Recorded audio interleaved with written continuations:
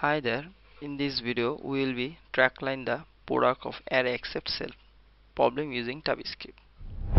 This problem asks us to find an efficient way to compute an array where each element is the product of all the element in the original array except itself. Let's jump to the LeetCode problem.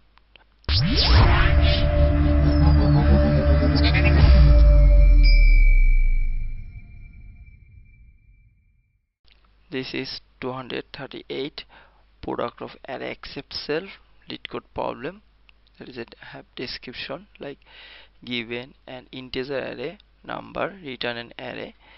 Answer such that answer i that means like any array any element individually is equal to the product of all the element of nums except this self. The product of any prefix or suffix of number is granted to fit in a 32-bit integer. That means it will not be more than 32-bit integer number is granted. You must write an algorithm that run O n time and without using division operation. Okay guys, let's jump to the code and we'll ensure it. It will be run in one time without division operator also uh, below have a follow-up. Can you solve the problem? When extra space complexity.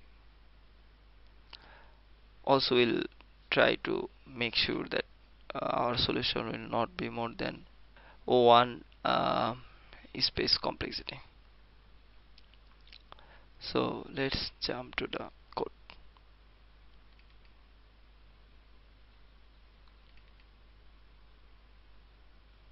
This is our code. Product except self function.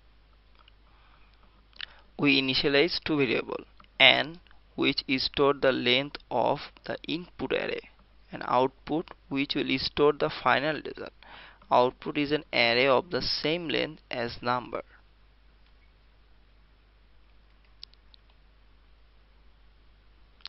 Then we now calculate left product calculation. We start the left product initialization to 1 in the first loop we traverse the number array from left to right.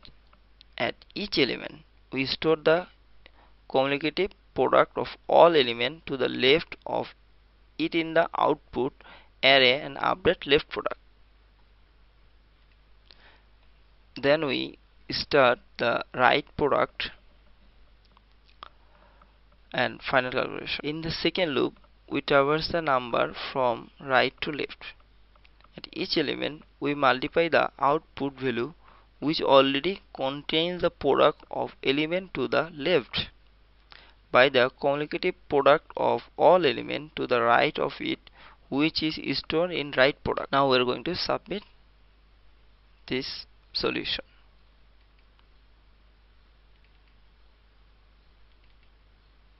We have successfully solved the problem product of array except self problem in TypeScript using an efficient algorithm that run in one time one space complexity thanks for watching and don't forget to like subscribe and leave any question or suggestion in the comment below